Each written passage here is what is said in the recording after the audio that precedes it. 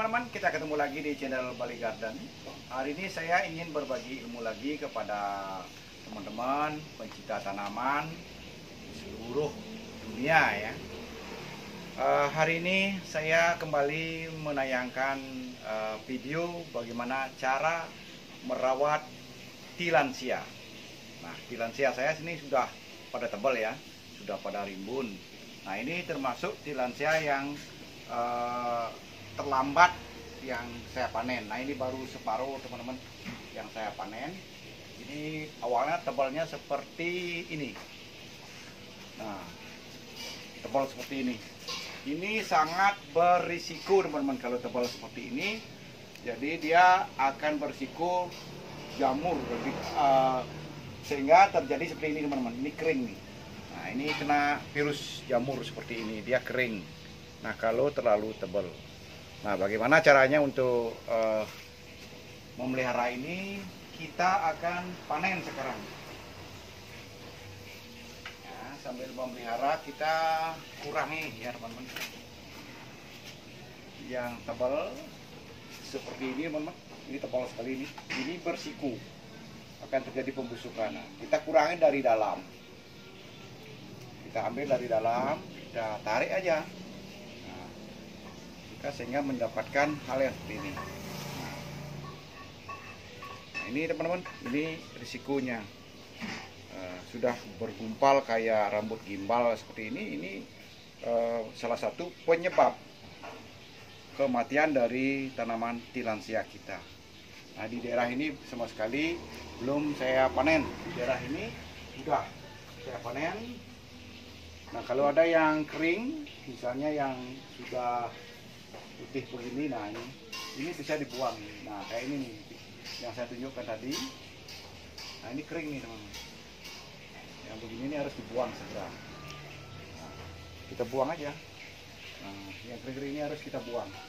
Ini bersiko juga membawa virus yang menyebabkan kematian. Nah usahakan dari tebal seperti ini ya tebal seperti ini biar menjadi uh, tipis seperti yang di sebelahnya. Nah yang sebelahnya. Ini awalnya sama teman-teman yang seperti itu. Ini menjadi tipis seperti ini. Nah, tidak akan mengurangi uh, seninya atau keindahannya tidak. Justru dia akan menjadi lebih indah lebih hijau. Jadi lebih kelihatan hijaunya putihnya bagus cerah. Nah ini sudah termasuk kena virus teman-teman ini sudah termasuk kena virus seperti ini. Sebelah ini segera saya uh, selamatkan. Nanti akan saya buang ini semua. Ini sudah mulai kering dia ini. Nah akhirnya saya mendapatkan bahan lagi yang bagus yang support seperti ini. Ini kita akan uh, apa namanya pisahkan dari uh, gerombolannya atau dari lilitannya kita pisahkan ini teman-teman. Nah biar mendapatkan tilansia yang bagus. Nah, kita harus pisah seperti ini. Nah sehingga mendapatkan hasil seperti ini. Hmm. ini satu-satu nih mas. Ini satu-satu. Nah yang ini harus kita tanam. Nah, caranya menanam atau menggantung ya, tidak ada media tanam sebetulnya, tapi kita bilang menanam atau bercocok tanam seperti ini. Nah ini saya buat dari kawat, sederhana saja. Kenapa uh, saya tidak buat dengan yang lain seperti dulu paralon dan sebagainya pernah saya juga unggah. Kalau pakai kawat begini nilai ekonomisnya uh, ada, jadi kita bisa dongkrak harga. Nah sebesar ini hampir 30 sampai 40 50 kita bisa jual kalau sudah uh, bagus rata. Itu teman-teman nah ini saya siapkan dulu biar ada contoh sedikit bagaimana caranya teman-teman. Saya ambil dulu alat-alatnya. Jadi sambil menyiapkan teman-teman bisa lihat video selanjutnya. Suasananya di sini di Pali Garden ya